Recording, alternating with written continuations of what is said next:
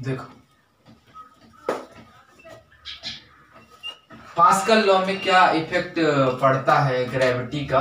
वो देखना पड़े देखना है इस टॉपिक में है ना? हाँ। तो हमने एक कंटेनर ले लिया है लिक्विड से भरा हुआ है। हम्म, ठीक है? ठीक? लिक्विड से भरा हुआ है वाटर भरा हुआ है लेट से। और उसके अंदर एक सिलेंड्रिकल शेप में एक एक सिलेंडर डाल दिया हमने। है ना? सिलेंडर शेप में एक ऑब्जेक्ट डाल दिया ठीक है? तो ऑब्जेक्ट डाल दिया है तो जो लिक्विड है वो यहाँ तक भरा है है ना? तो ऊपर का जो लिक्विड होगा इस सिलेंडर पर ऊपर से प्रेशर लगाएगा ऊपर से फोर्स लगाएगा हाँ, और नीचे जो लिक्विड रहेगा वो नीचे से फोर्स लगा। नीचे से फोर्स लगाएगा। और एक फोर्स ग्रेविटी काम करेगी इसको ग्रेविटी खींचेगी इस पूरे सिलेंडर को नीचे। तो वो फोर्स होगा एम जी हाँ, है ना? हाइट सिलेंडर का मान लिया गया है ए एच हाइट सिलेंडर का मान लिया एच और क्रॉस सेक्शन मान लिया गया है ए है ना? तो हम निकालेंगे सबसे पहले इस सिलेंडर का वेट है ना? हाँ, तो weight weight of cylinder weight of cylinder तो किसी भी चीज़ का वेट निकालने के लिए हम्म, उसका मास उसका mass multiply by acceleration due to gravity ये फॉर्मूला होता है। हम्म, है ना? मास और वेट में अंतर होता है। वेट डिफरेंट हो सकता है प्लेस टू प्लेस लेकिन मास डिफरेंट नहीं होता है। है ना? मास इस मतलब नंबर ऑफ़ मॉलिक्यूल्स ठीक है? वेट डिफरेंट होगा। और क्यों डिफरेंट होगा एक्सेलरेशन ड्यू टू ग्रेविटी है ना? हम्म, तो मास इनटू जी है ना? और हम जानते हैं हम क्या जानते हैं? डेंसिटी इज़ इक्वल टू होता है मास अपॉन वॉल्यूम तो मास जब यहाँ से निकालेंगे हम्म, तो रो इंटू वी हो जाएगा यानी वॉल्यूम मास की जगह पे हम लिख देते हैं। रो रो। वी और ये जी। है ना? मास की जगह पे ये चीज़ रख दी सब्स्टिट्यूट कर दी और हम जानते हैं है ना? हम क्या जानते हैं? Volume is equal to four upon three pi r t volume is equal to area है ना? Area into height area into height होता है ये? हम्म, भाई सिलेंडर का क्या होता है? Pi r square h. हाँ। पाई आर स्क्वायर एच तो ये क्या है? एरिया ही ना है क्रॉस सेक्शन एरिया। हम्म, तो ये ए और एच तो हाँ। हम क्या रख सकते हैं? वॉल्यूम की जगह पे एरिया इंटू एच तो एरिया क्या है? ए हाँ। और एच तो एच ही है इसका। हम्म, इसका एच एच ही है ना? हम्म, ठीक? इसका एच एच ही है। और यहाँ क्या बच गया? रो बचा और जी। जी बचा। ठीक? है हाँ। अब हम प्रेशर निकालेंगे है ना? प्रेशर निकालेंगे फोर्स निकालेंगे कि इसमें कितना फोर्स लग रहा है है ना? ठीक? तो let P1 and P2 hmm, be the pressure है ना? Pressure on points on points A and B है ना? इस पॉइंट पे जो प्रेशर लग रहा है और इस पॉइंट पे जो प्रेशर लग रहा है वो डिफरेंट होगा हम्म, है ना? क्योंकि नीचे क्या है? नीचे जो पूरे यहाँ पे जो इस पॉइंट पे प्रेशर लग रहा है इस सिलेंडर के कारण वेट भी आ जा रहा है ना सिलेंडर का वेट तो यहाँ पे प्रेशर डिफरेंट होगा और यहाँ पे प्रेशर डिफरेंट होगा। डिफरेंट होगा। तो हमने माना है P one and P two P two P one and P two हम मान लिए हैं कि पी ए पर पी वन प्रेशर लग रहा है और बी पर पी टू प्रेशर लग रहा है। अब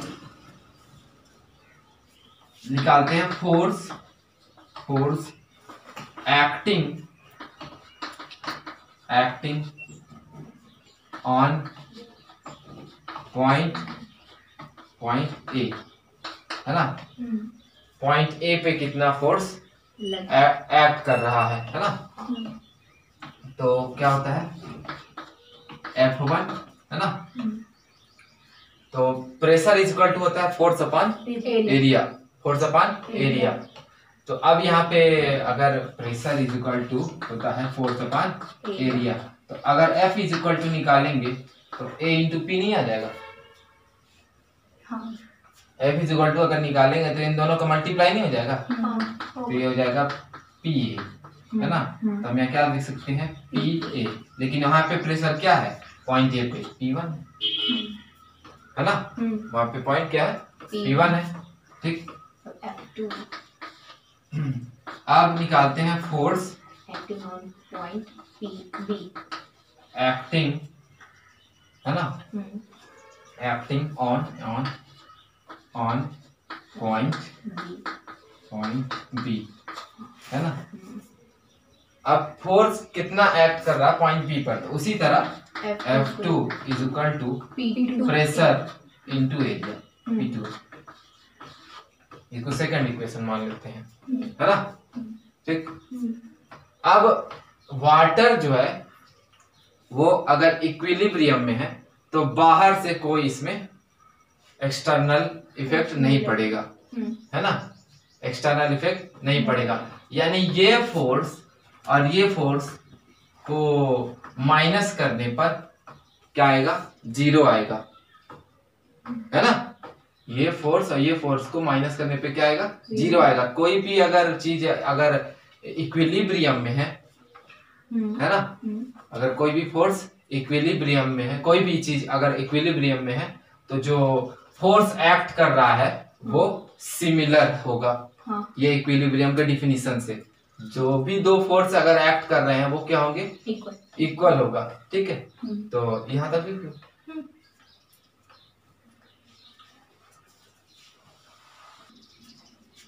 now if liquid liquid hmm, in equilibrium है ना? इक्विलिब्रियम ठीक है।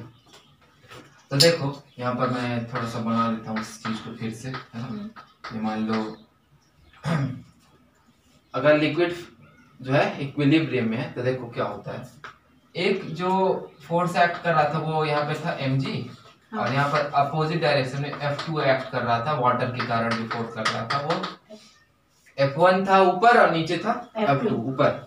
अपवर्ड डायरेक्शन में फोर्स एक्ट कर रहा था है ना? तो अगर लिक्विड इक्विलिब्रियम में है तो F one minus F two is zero है ना? अब यहाँ पर जगह किस लिए मैंने छोड़ा है? क्योंकि एक फोर्स ऊपर एक्ट कर रहा था वाटर के कारण हम्म, है ना? वा, वाटर की वेट के कारण ऊपर से। लेकिन या इस पॉइंट पे इस पॉइंट पे ये जो सिलेंडर का वेट है वो भी काम करेगा वो भी वेट तो नीचे की हो रही है डाउनवर्ड डायरेक्शन में। तो वो भी तो इसमें जुड़ जाएगा। यानी ये पूरा फोर्स तो यहाँ पे इस पॉइंट पे अगर इस पॉइंट पे कंसीडर करें तो वो एफ़ वन ही है। हम्म, लेकिन इस पॉइंट का कंसीडर करें तो इस पॉइंट पे तो एफ़ टू लग रहा है। हाँ। एक और फोर्स लग रहा है जो ऊपर से लग रहा है। हाँ। तो वो एफ़ वन भी है और इस सिलेंडर सिलेंडर का मास भी है। हम्म, है ना? तो इस सिलेंडर का वेट कितना आया है? ए एच रो जी तो यहाँ पे लिखेंगे ए एच रो जी हम्म, ठीक है ये पॉइंट समझ में आया ना? क्योंकि इस पॉइंट पे दो फोर्स काम कर रहे हैं एक ऊपर से एक नीचे से डाउनवर्ड एंड अपवर्ड हम्म, अगर ये अ, मैं यहाँ पे खड़ा हूँ अगर मेरा वेट 60 है तो मेरा वेट के कारण नीचे अर्थ पर 60 केजी का हम्म, क्या जितना भी फोर्स एक्ट कर रहा है मेरे वेट के कारण हाँ, अर्थ पे उतना ही अमाउंट ऑफ़ फोर्स कौन लगा रहा है? अर्थ लगा रहा है अपवर्ड डायरेक्शन में। यानी दोनों को माइनस करने पे क्या आएगा? ज़ीरो आएगा। सेम अगर मेरा पैर यहाँ पे रखा हुआ है तो जितना मैं 60 केजी का इसमें प्रेशर डाल रहा हूँ 60 केजी का मेरे बॉडी के वेट के कारण उतना ही अमाउंट ऑफ़ फोर्स लगा रहा है अर्थ भी रिटर्न तो दोनों को माइनस करने पे क्या आएगा? ज़ीरो आएगा। वही लॉजिक यहाँ पे भी चल रहा है। हाँ। सेम अगर कोई क्वांटिटी सेम है तो माइनस करने में क्या आएगा? ज़ीरो अब यहाँ पे F1 की वैल्यू रखते हैं और F2 की वैल्यू रखते हैं। तो एफ़ वन की वैल्यू क्या है? पी वन ए है ना? पी वन ए और ये तो इतना ही है। ठीक। और ये है P two A is equal to zero. अब इसको हम उधर ट्रांसफ़र करते हैं है ना? इसको हम उधर ट्रांसफ़र करते हैं। तो बेसिकली हम यहाँ पे से ए और एक कैंसिल करेंगे। हाँ। देखो कैंसिल कैंसिल करेंगे। तो ये P one A plus H minus P two A और ये एच ए एच को इधर ट्रांसफ़र कर रहे हैं तो प्लस से क्या हो जाएगा? माइनस हाँ। है ना? हम्म, अब हम दोनों में से ए कॉमन ले लेते हैं। क्या कॉमन ले लेते हैं? ए लेकिन यहाँ पे निगेटिव है हाँ. तो उस नेगेटिव को भी कैंसिल करने के लिए माइनस कॉमन ले लेते हैं। हाँ. तो ये वाला जो है माइनस में वो प्लस में हो जाएगा। हाँ. ए प्लस वाला माइनस में हो हो जाएगा। तो माइनस वाला प्लस हो गया प्लस वाला माइनस हो माइनस हाँ. है ना? हाँ. और ये बचा negative A H rho g है. ना? ए से माइनस माइनस ये पूरा क्वांटिटी कट जाएगा। अब क्या बचा?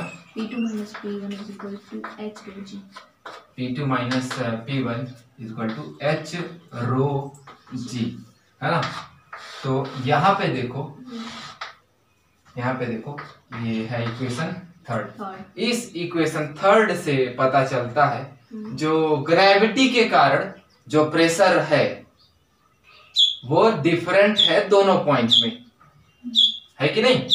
अगर यहाँ पर वो सिलेंडर था रखा तो यहाँ पर का जो प्रेशर है यहाँ पर का जो प्रेशर है तो ज़्यादा प्रेशर कहाँ पे है? यहाँ पे। कितने का डिफरेंस है दोनों में? एच रो जी कितना? एच रो जी यानी कि प्रेशर डिफरेंट है और वो प्रेशर डिपेंड कर रहा है। Height of container density of liquid and acceleration due to gravity इस पर डिपेंड कर रहा है। यस है ना? और इसके आगे भी हम इसका यूज़ करेंगे। हाइड्रोस्टैटिक पैराबॉक्स में है ना? तो यहाँ पे इसके नीचे हम लिख लेंगे। It is clear that pressure acting on two point is different है ना? देखो।